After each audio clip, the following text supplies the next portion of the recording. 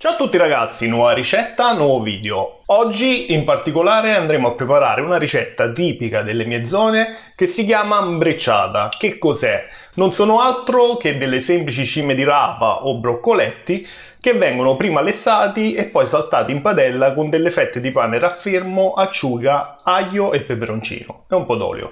Una ricetta semplicissima ma tradizionale e quindi ho deciso di portarla qui sul mio canale. Come sempre mi raccomando ragazzi lasciate un mi piace al video, iscrivetevi al canale e condividetelo con i vostri amici. Detto questo andiamo a preparare l'ambrecciata sannita. Sigla!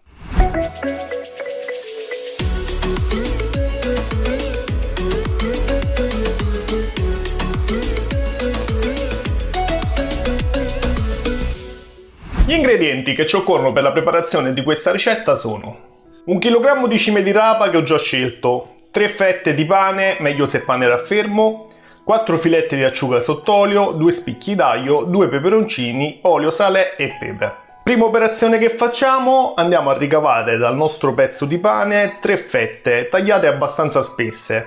Più o meno l'altezza di ogni fetta dovrà essere di un paio di centimetri. Poi dividiamo ogni fetta a metà e andiamo a ricavare dei tocchetti di pane. Recuperiamo i nostri tocchetti e li mettiamo all'interno di una ciotola e li teniamo momentaneamente da parte. Sul fuoco ho una pentola abbastanza capiente in modo da accogliere la verdura all'interno con l'acqua che ha raggiunto già il punto di ebollizione. Vi svelo un segreto, per far sì che i broccoli e le cime di rapa, ma in particolare in genere tutte quante le verdure a foglia verde, non perdano il loro colore brillante e luminoso verde che hanno quando sono crude, Dovete evitare di inserire il coperchio quando le andate a lessare e soprattutto non dovete metterne troppe all'interno. Quindi il rapporto di verdura che inserite all'interno deve essere sempre proporzionale alla quantità di acqua e alla dimensione della pentola.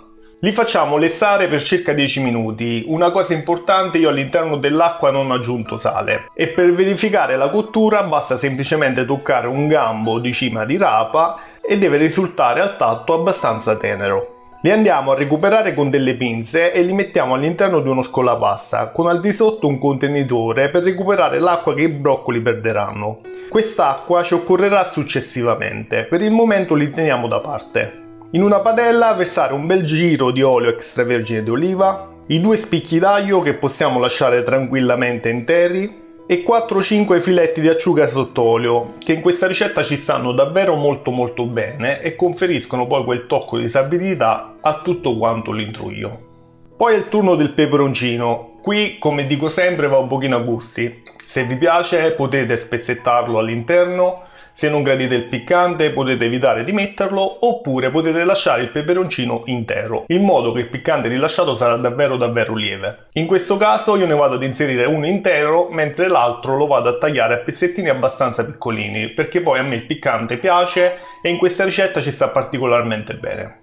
Accendiamo la fiamma e non appena l'olio inizia a soffriggere inseriamo all'interno le cime di rapa che abbiamo lessato in precedenza i tocchetti di pane, diamo una prima leggera mescolata a tutti quanti gli ingredienti, dopodiché andiamo ad ammorbidire leggermente il pane utilizzando l'acqua che vi dicevo in precedenza che abbiamo recuperato dai broccoli.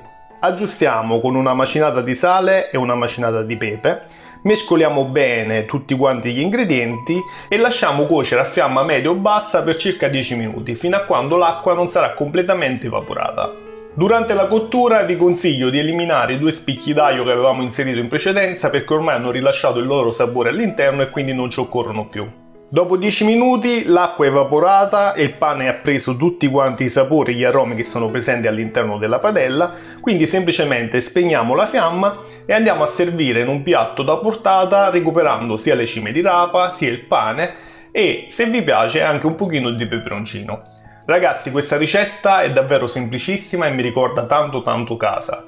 Di solito mia mamma la preparava la sera e a volte la mangiavo anche come piatto unico ma può essere utilizzata tranquillamente come un contorno. È veramente qualcosa di eccezionale quindi vi consiglio di provarla anche voi a casa. Come sempre lasciate un mi piace al video, iscrivetevi al canale e con voi ci vediamo settimana prossima con la prossima ricetta. Ciao a tutti!